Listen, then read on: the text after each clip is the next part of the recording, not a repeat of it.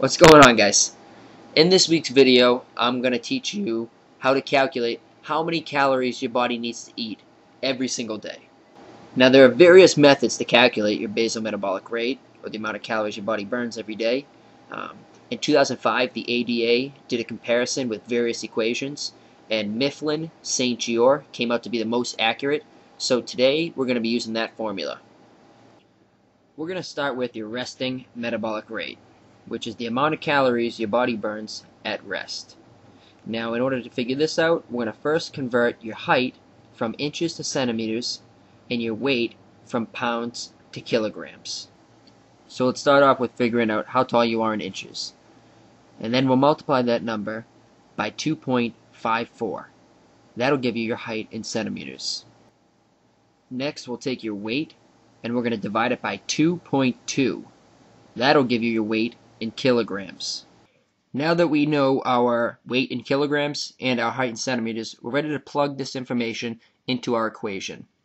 Okay, so looking at the top section, we have men.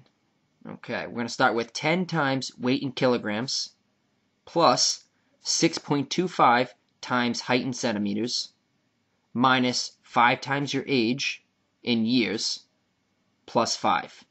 Now, the only difference between the, the equation for the men and women is the ending. So instead of plus 5 for women, you're actually going to subtract 161.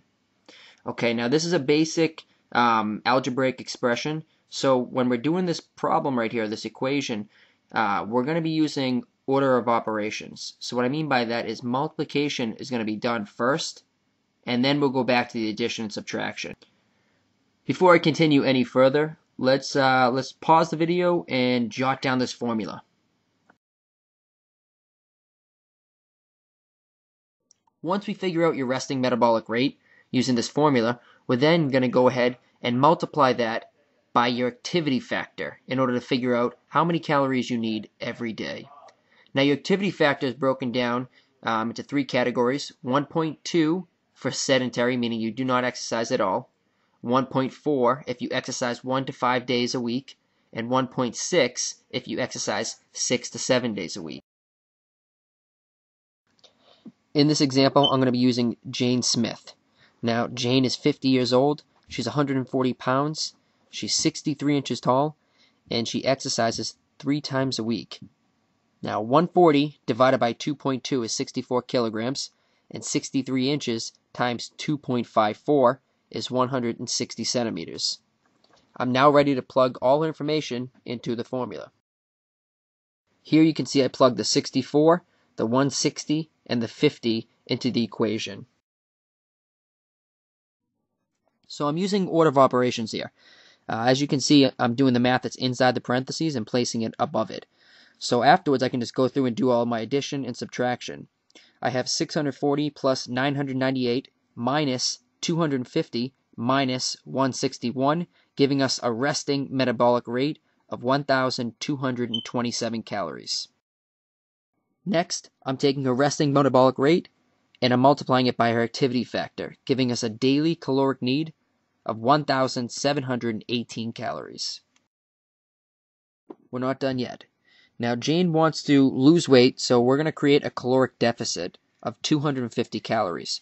So I'm going to take her daily caloric need. I'm going to subtract 250 calories from that, giving us a total of 1,468 calories. That is how many calories Jane is going to eat on a daily basis in order to lose weight.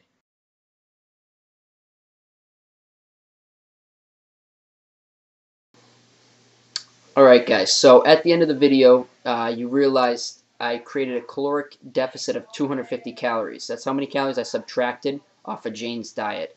Um, now, if you're wondering why I went with 250 calories, it's a safe number to go with. You know, I'm taking 250 calories away, and it's not putting me too close to a resting metabolic rate.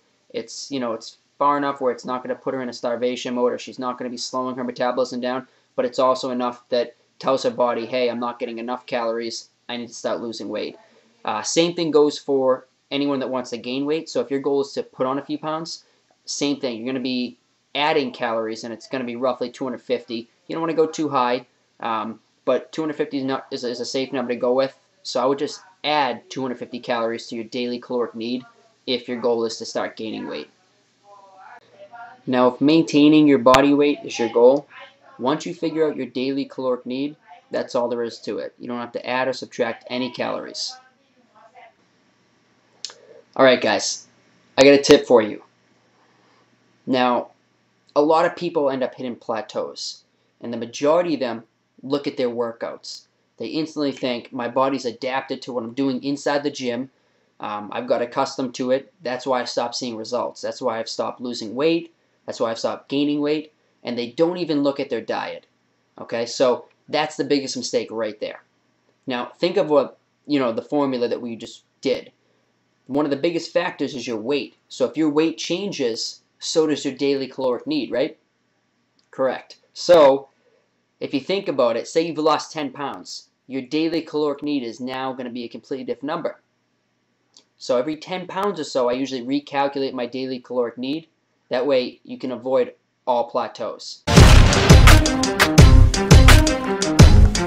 Yeah. For those of you that want to know what we're all about,